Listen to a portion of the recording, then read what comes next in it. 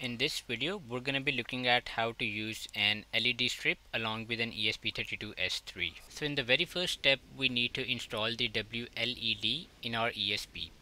So what we'll do is we'll plug the ESP with a USB-C cable and we'll click on the install button. Now a small pop-up will appear which will show different ports that you have available and at this point what you can do is you can disconnect and reconnect the ESP32S3 to make sure which port belongs to it. So if I disconnect this the port will disappear and if I reconnect it back again the port will appear once again. So this way you can make sure which port belongs to the ESP32S3. Once you have found the port you can select it and click on connect now in my case I already have it installed. I think for that reason the update shows but it might show here install WLED either way update or install the WLED it will take around a minute. Now once it's installed the next step we do not have to do anything here. In the next step what we want to do is we want to clone this repository and open it up in the VS Code I'll be sharing the link of this in the description as well. So what I'll do is I'll copy this. I'll open up my terminal. I will change into the directory where I want to clone this and I'll clone this project over here. Once that's done we'll just close this. We'll open up our VS Code and open this project. So inside of the VS Code projects I have it over here and I'll open it now over here you need to make sure that you have PlatformIO installed over here. In case you do not have PlatformIO installed you can go over to extensions type platform IO and you can install it from here. And just as a good practice after installing this close this and open up once again so that way everything's initialized correctly. Once you make sure that PlatformIO is installed uh, you can come here and follow along for the next steps. Now with the project cloned here we can come over here to the project and we can see different files.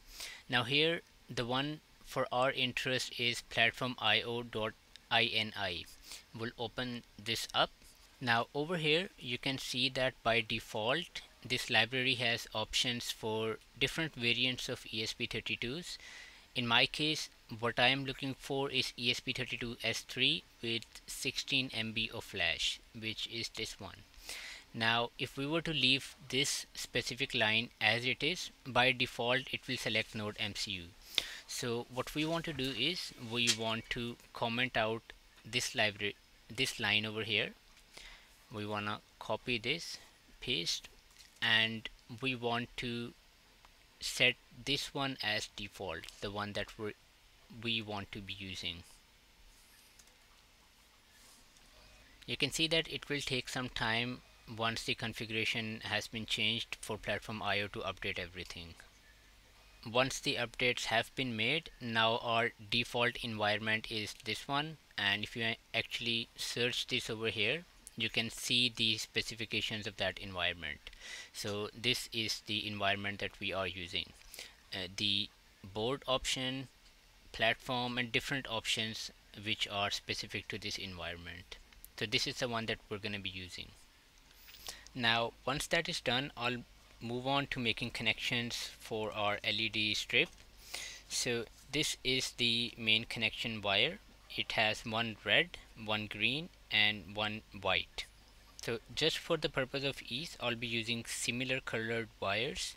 I'll connect the red wire with the red of the LED strip the green one with the green of the LED strip and same for the white one. Now coming over to the ESP I will plug the red one in the 5 volt over here and the white one on the ground just on the side of it. Now for the green one which is the signal pin I will be placing it in the 38th number pin of the ESP32S3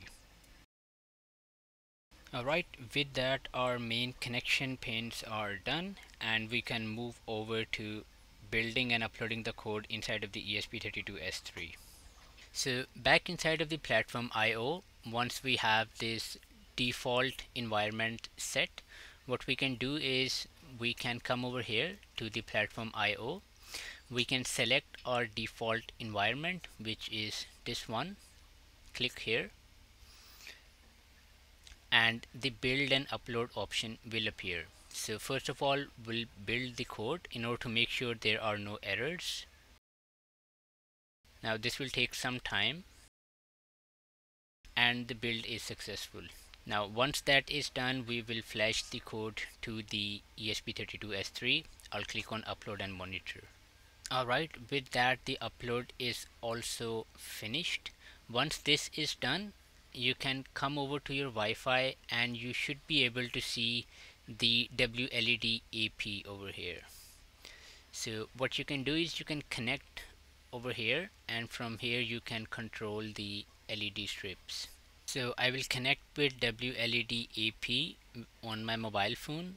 If it asks for a password just enter WLED 1234 in all small letters click on join and you should be able to connect with the WLED AP. With that we will have this tab open up and we'll go to the controls. From here we can click on configuration and LED preferences and from here we can set preferences for our specific LED. Now in my case I am using SK6812 model but if you're using WS2812 or any other model you can select from here. And in the length we want to set the number of LEDs so in my case the wire is 1 meter long and it has 144 LEDs for every 1 meter. So the total number of LEDs is 144 and for our GPIO pin we set 38 once that is done we can save these changes and we should be able to see the LED working. Now even once the settings have been made you can see that the LED strip is still not lighting up. And that's because it does not have enough power to light up. So what we want to do over here is we want to use these two wires to provide it with enough power so for that I will be using this simple power bank which is able to provide enough amperes along with a simple breadboard to make the connections. Now once I have connected the power supply you can see that the LED lights up. Back in the app coming over to the effects we can choose different effects and they will show up on our LED in real time. So yeah that was it for this tutorial. I'll add the links to all of these pages in the description. Please leave a like and subscribe if you found this helpful.